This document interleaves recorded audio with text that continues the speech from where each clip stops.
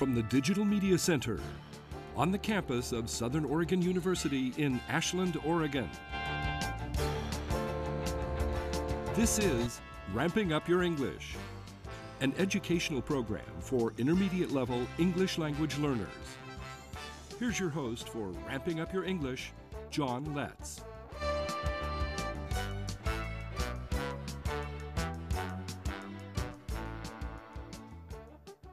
Welcome to Ramping Up Your English. Ramping Up Your English is for English language learners from all language backgrounds who have already begun the process of learning English as their second language. It's a program for people of all ages. If you're seeking greater English proficiency, this program is designed to help you reach that goal.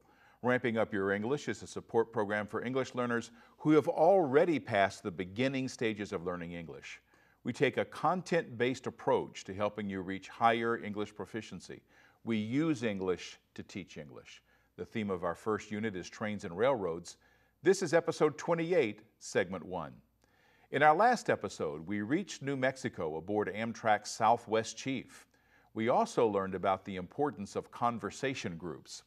Today, we finish that journey to Los Angeles and we visit a railroad museum that will give us a lot to talk about. That makes for a pretty full show. Let's get started by catching the Southwest Chief on part four of its journey to the West Coast.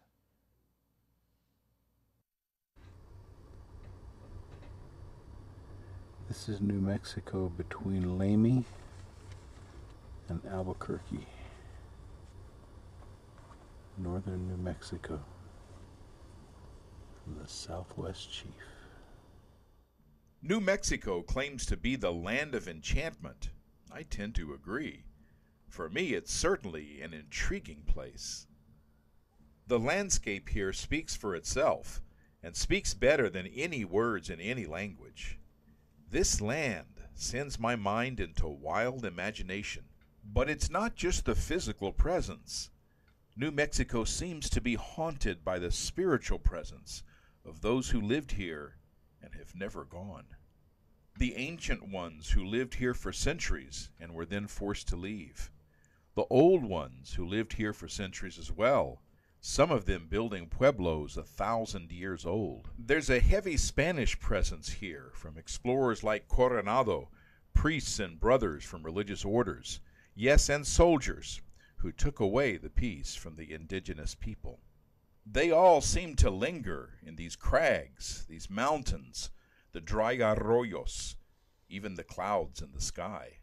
Teamsters on the Santa Fe Trail, ranchers and railroads fighting range wars, but also peaceful ones who learn to flourish with very little, those who walk in peace, in harmony with nature, the poet, the flautist, the photographer, willingly giving themselves to this land. And the railroad, first the Santa Fe, then Amtrak, then the mergers. Now these rails have become part of this land too, no less than the rocks and the scrubby trees or the dust devils.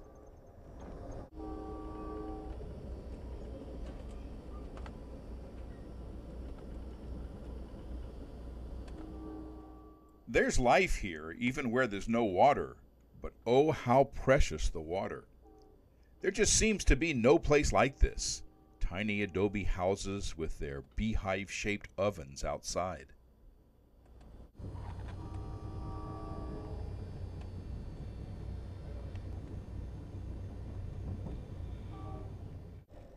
Parts of the Southwest Chief's route can take you back in time to the Wild West of the movies.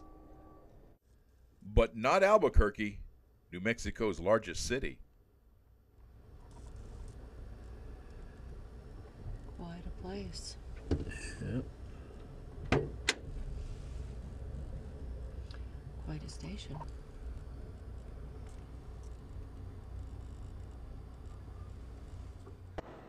At this stop, I had time to get off and walk around a little bit on the platform.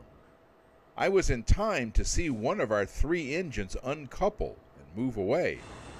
I suppose two engines would be enough to take us the rest of the way to Los Angeles.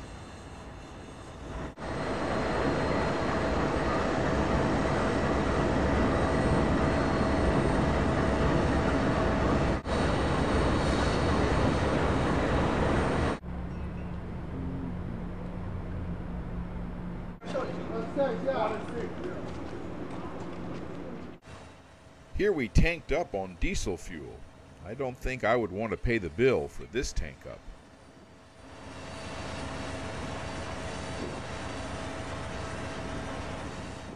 This stop is memorable because local Native Americans sell items here, some of them made locally. I bought Liz her Christmas present here, then hurried to get back on the train before it departed. Soon we were back on the rails amidst this geographic wonderland. One writer reflected that it looked as if God had stored here all the mountains, canyons, and other landforms that were left over from the creation of the earth. I just know that I never got tired of seeing them, and I was grateful for the daylight to appreciate these wonders. It made a magical backdrop for enjoying dinner.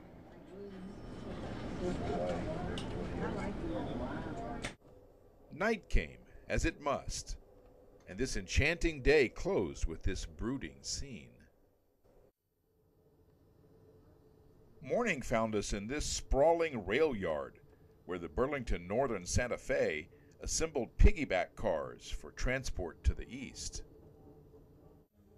I like this whole idea of keeping these trucks off the road until their trailers arrive for local or regional delivery. This is known as intermodal transport.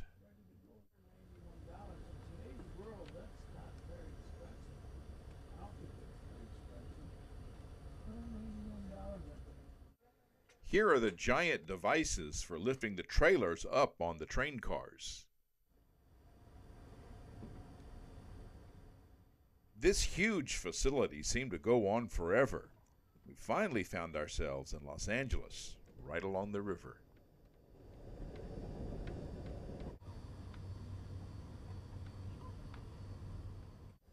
Now we saw the Los Angeles skyline. Onboard crew, track 12, right side. Ladies and gentlemen, we are now arriving Los Angeles Union Station. Please check around your seats for all your personal items. Red caps will be on the platform waiting for you. Ooh, that's a nice one.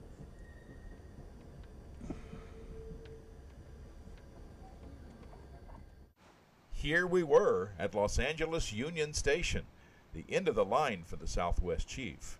From here, trains leave for New Orleans on the Sunset Limited. It's also the starting point for the northbound Coast Starlight. That's a train we would board for our trip back to Oregon. When you see such incredible beauty like this, you want to share it with others. Well, if Amtrak can't keep this train alive, it would be a huge loss for everyone.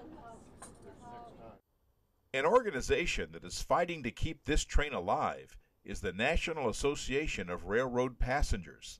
If you want to help save the Southwest Chief, visit them at www.narprail.org to see how you can help. I hope you enjoyed part four of Amtrak's Southwest Chief. For Ramping Up Your English, I'm John Letts.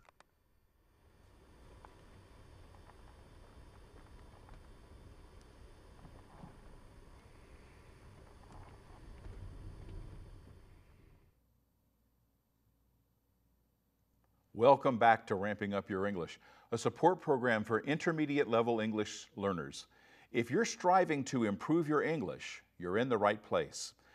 The Santa Fe Railroad's passenger trains, including the Super Chief, gave rail travelers yet another option to reach the West Coast from the great rail hub of Chicago.